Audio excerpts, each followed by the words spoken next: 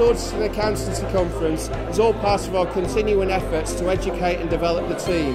It's also the perfect opportunity to get an insight into their careers and ask them what it's like working for Barnes Roffe.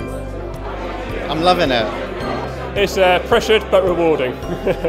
Very friendly, welcoming and inspiring. Working for Barnes Roffe was the best career decision I've ever made. The main thing that stood out for me was their focus on client relationships and the fact that client is key to their continuing success.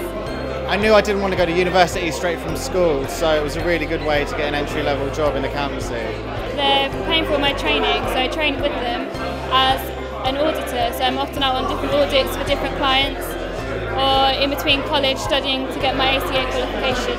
I think the mix of personalities and specialisms uh, work very well together. They all come together to create a very interesting atmosphere and a very knowledgeable atmosphere that you can rely on to support your work going forward. When you're at college, they completely understand that you've got revision to do and work to do, and they support you through that. And whilst you're actually doing the jobs as well, they're always at the end of the phone to help.